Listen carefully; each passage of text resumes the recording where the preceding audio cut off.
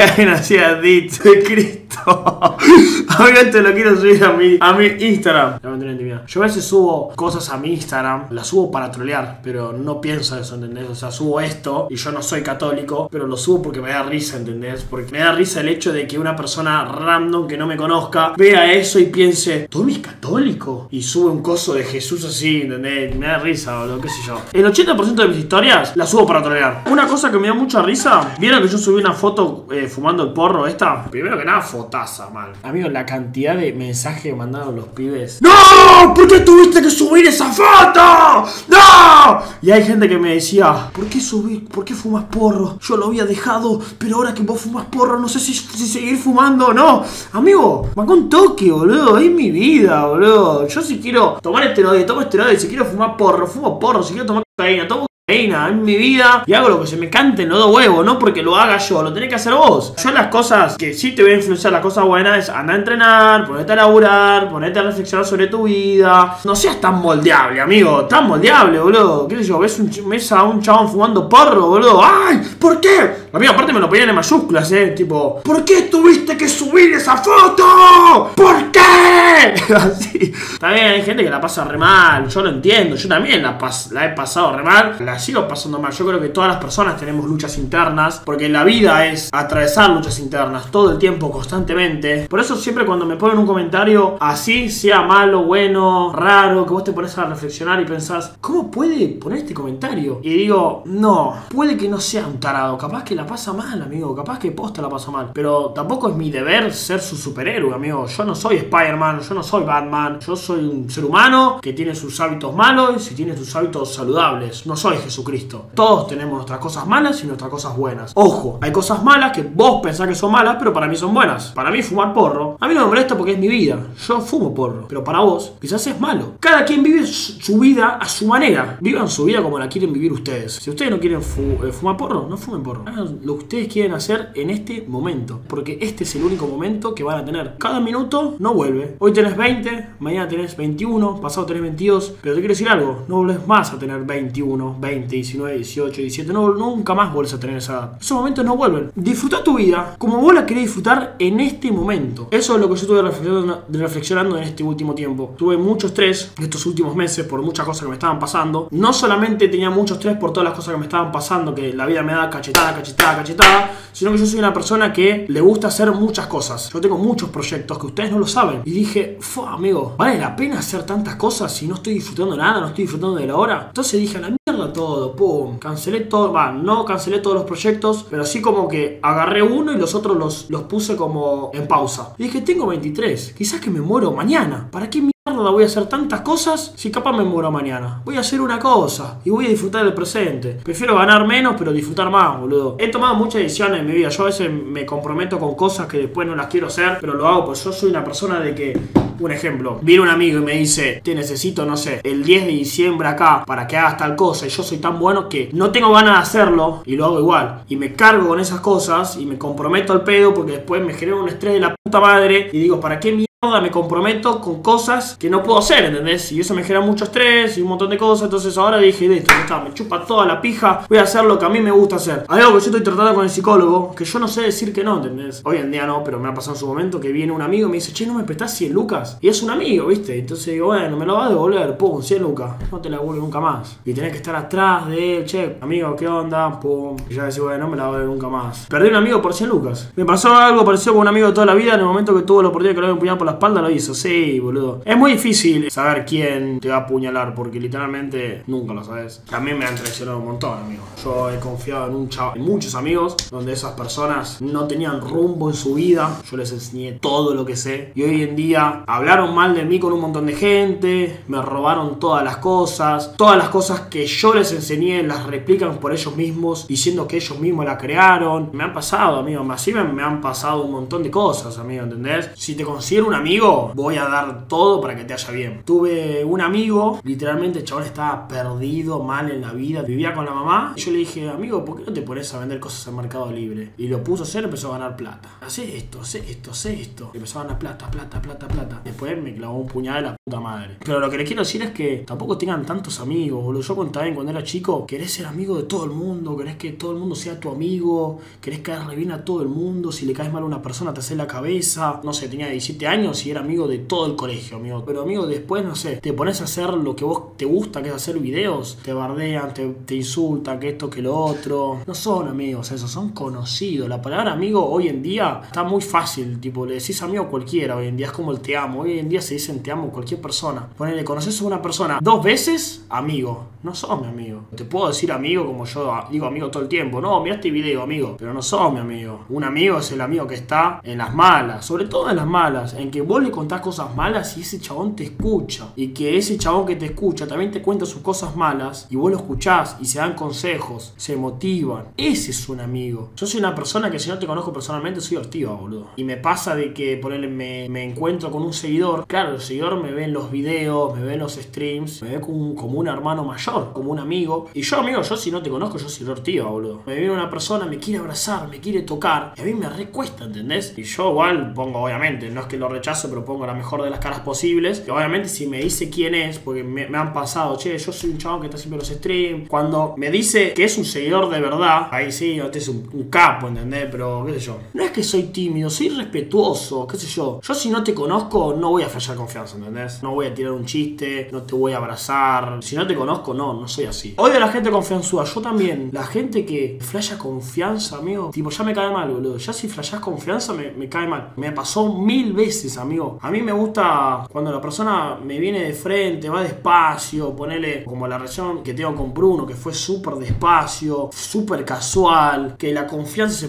fue, creando de a poco, y de a poquito. Es- esas son las relaciones que duran. ¿Vos cómo te describís? Es muy difícil describir, describirse a uno mismo. Yo me, soy una persona en constante aprendizaje, me fijo mucho en mis errores para no volverlos a cometer. Digo, fa, luego acá cometí un error. Siempre, estoy todo el tiempo ahí, pum, pum, pum, pum, pum. Soy una persona que pienso mucho, observo mucho, soy una persona muy callada. Fuera de cámara soy una persona callada y me gusta observar, me gusta observar mi entorno, me gusta cómo, cómo se mueven las personas, cómo hablan, qué hacen. Pero yo soy una persona callada, respetuosa y observadora, por así decirlo. Yo cuando prendo la cámara saco un lado de mi personalidad, pero soy ese, ¿entendés? Soy ese. Pero obviamente hay cosas de mi personalidad que no saco. Obviamente que la persona que quiere hablar conmigo, si yo tengo ganas de hablar, sí voy a hablar y voy a ser carismático, ¿entendés? Pero yo no voy a ir a entrar a un lugar y hablar con todo el mundo, amigo. Consejos para vivir solo y ser autosuficiente. Sí, vivir solo está bueno, pero te destruye el mental, amigo. ¿qué querés que te diga? Los pensamientos cada vez son más fuertes, no parás de pensar, no te sentís solo, por más que invites a tus amigos, por más que estés con tu familia. Estás solo con vos mismo. Y si estás mal con vos mismo, te vas a a autodestruir, amigo, te vas a autodestruir. Lo digo yo, que yo me fui a vivir a los 19 años y te juro que la pasé re mal, amigo, la pasé re mal. O sea, la pasé mal y bien a la vez, ¿entendés? ¿Cómo sos cuando estás triste?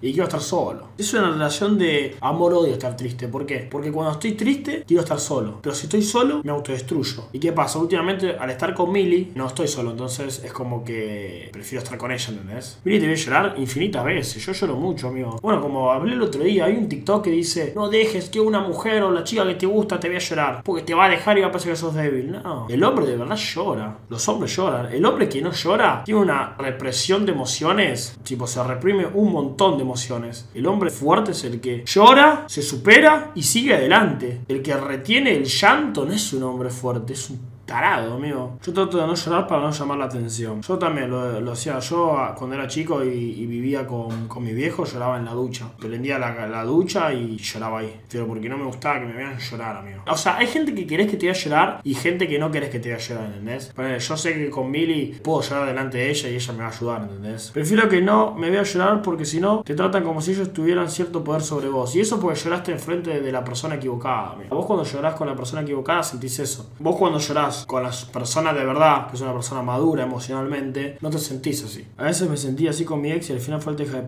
le encantaba verme llorar, pero la querías tanto. Y qué sé yo, las parejas de hoy en día hay mucha toxicidad, boludo, por lo que veo. Mucho control sobre la otra pareja, muchas inseguridades, pero sobre todo orgullo. Hay mucho orgullo y mucha infidelidad. Como que es muy vacío el amor de ahora. Yo se lo dije siempre, el día que tenga novia va a ser la única novia que yo tenga, porque esa novia que voy a tener va a ser la madre de mis hijos. La única novia que, que voy a tener. Yo me un consejo para dejar de procrastinar las cosas por miedo. El miedo es ese miedo de no querer salir de tu zona de confort. Y siempre que salgas de tu zona de confort, vas a crecer. Vos pensá esto. No sé cuántos años tienes ahora. ¿Ven? Tenés 20. Cuando tengas 60 años, no tenés que llegar a los 60 años con esa duda en tu cabeza que diga, ¿qué hubiese pasado si lo hubiese intentado? ¿Qué es lo peor que te puede pasar, amigo? Llegar a esa edad donde no lo puedes hacer porque ya estás grande y tenés la duda de qué hubiese pasado si lo hubiese intentado. Ahora que tenés la edad, intentalo y tenés todo para hacerlo, todos los requisitos para intentarlo, intentalo, amigo. Lo peor que puede pasar es que te salga mal. Y si te sale mal, ¿qué pasó? Nada. Es mejor decir, bueno, por lo menos lo intenté. Siempre que tengas miedo, velo como una oportunidad para crecer. Entonces vos siempre que tengas miedo en el pecho y lo hagas, sabe que vas a crecer un montón. Porque estás superando el miedo. Y siempre que se supera ese miedo, se sale de la zona de confort, creces como persona. Si mi pareja se enoja demasiado por sus inseguridades sin que yo haga nada, ¿qué puedo hacer yo? ¿Es mi culpa? Siempre me quedo pensando lo mismo y a veces me agobio. Es normal que tu pareja tenga inseguridades, como es normal que vos también tengas inseguridades. Cada persona tiene inseguridades. Lo que no es normal es que tu pareja se enoja por sus propias inseguridades. Vos ahí lo que tenés que hacer es apoyarla y escucharla. Nada más. Porque hay personas son autodestructivas. Bueno, yo tengo una inseguridad, sé que la tengo, me enojo y son personas autodestructivas. Esas personas autodestructivas pueden destruir a su alrededor también esas personas. Y lo mejor que puedes hacer es escucharla y apoyarla. Yo te puedo decir, no, mira, sos autodestructiva, tenés que dejar de ser así. No lo va a dejar de ser. Hasta que la persona no se dé cuenta de eso y no lo quiera mejorar, no lo va a mejorar nunca, ¿entendés? Como mucho recomendarle, pero jamás pelearle ni esas cosas. Y tampoco como, vos tenés que hacer esto, no, tampoco. Por eso, le, eso te va a odiar si le decís eso. Vos tenés que escuchar y apoyar y que sienta que tiene un compañero al lado. Las relaciones son compañía. No es una novia o un novio que solamente cogen. Son compañeros. Compañero de vida significa que te va a acompañar el resto de tu vida, supuestamente. Se tome una pregunta. ¿Qué hago si la chica con la que quiero todo, ella quiere todo, pero los viejos de ella no me aceptan? Y es muy difícil, amigo, porque ya cuando son menores es, es, es difícil, porque siempre va a recaer en los padres, ¿entendés? Pueden optar por que tu pareja lo hable con sus viejos de verdad. Me gusta mucho, no sé, Ramón, y que lo hable seriamente, te presente ante la familia para que vean que no seas un adicto de que no tenga futuro y que los padres se puedan sentir con confianza de que la persona que está al lado de su hija es una persona con buenos valores, ¿entendés? Yo voy a querer que mi hija esté con una persona que tenga valores, que la respete, que la quiera, que sepa lo que va a hacer en el futuro, ¿entendés? No puede estar con cualquiera mi hija. Yo creo que la protegen a, a, a la hija de que capaz vos sos un pelotudo. Vos tenés que demostrarle a la familia que no sos un pelotudo. Corta. ¿Cómo dejo de ser un pelotudo? Teniendo buenos valores, respeto hacia la otra persona. No quieran ser esas personas que quieran tener la razón en todo, personas que están dispuestas a escuchar. Si yo tengo un punto diferente al tuyo, respetalo, qué sé yo, son muchas cosas. ¿Te das cuenta quién es un pelotudo y quién no es un pelotudo, amigo? ¿Considerás que alejarte de la persona que te hace mal o son pelotudas te hace mejor? Sí, sí, totalmente. Alejarse de las personas que no te suman es, lo, es la mejor decisión que puedes tomar, amigo. Es la mejor decisión que puedes tomar. Yo me alejé de millones de personas que no me aportan y decís, ¿por qué me sigo juntando si no me aporta nada, amigo? Si es un pelotudo una pelotuda, ¿entendés? Siempre ponete como prioridad vos y tu salud y tu salud mental y tu paz. El famoso mejor solo que mal acompañado. Totalmente, amigo. Y si no se puede olvidar a una persona, a la persona no la vas a olvidar nunca. Porque siempre vas a tener los recuerdos ahí latentes. Lo que sí puedes hacer es superar a la persona. Cuando se te muere un familiar o un amigo, a la persona no la olvidás, la superaste. Y no deberías querer olvidar a ninguna persona. Porque todas las personas que pasaron por tu vida pasaron por algo y te dejaron una enseñanza, sea buena o mala. Es más, no hay enseñanza mala, siempre hay enseñanza buena, porque todas las enseñanzas son positivas. No quieras olvidar a ninguna persona, es como negar tu pasado. Vos no puedes negar tu pasado. Tu pasado lo viviste y fueron las decisiones que tomaste en ese momento, ¿entendés? Esas cosas que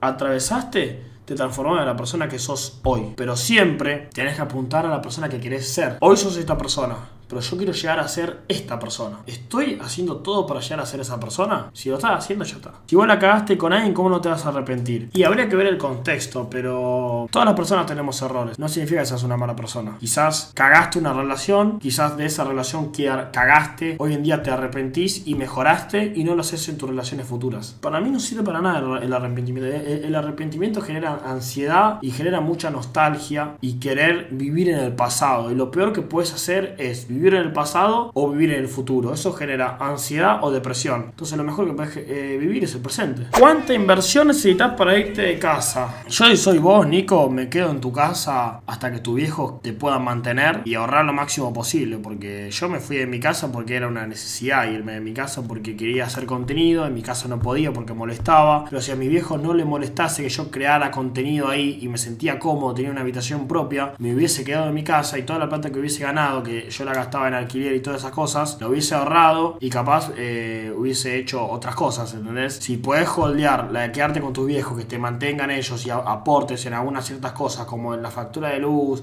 la de gas, en comida, pero no, no pagues un alquiler y todas esas cosas, y puedes hacer lo que te gusta en tu casa, holdealo. Pero si te querés ir, porque te querés expandir, te puedes ir cuando vos quieras. Pero es el pedo irte de tu casa lo más pronto posible. Porque hay muchas personas que dicen, no, me quiero vivir solo, me quiero vivir solo, no veo la hora de irme a vivir solo. Amigo, cuando te vayas a vivir solo vas a llorar por esos días donde vivías con tu familia. Donde te levantabas y tu mamá te decía a comer y vos ibas y tu mamá te decía poner la mesa y te engañó porque no estaba la comida sino que quería que ponga la mesa. Vas a, extrañar estar de noche donde te peleas con tu familia porque vos querías jugar a la play y te querían que duermas. Lo vas a extrañar, entonces no quieras quemar etapas, amigo. O sea, como me encantaría volver a despertarme y estar ahí. No lo tengo más, ahora tengo 23 años y tengo que hacer un montón de cosas. Disfrutarlo al máximo que puedas y cuando tengas que ir te vas. Soy Team Sangre chiquitito pero grande. Soy Team Sangre chiquitito.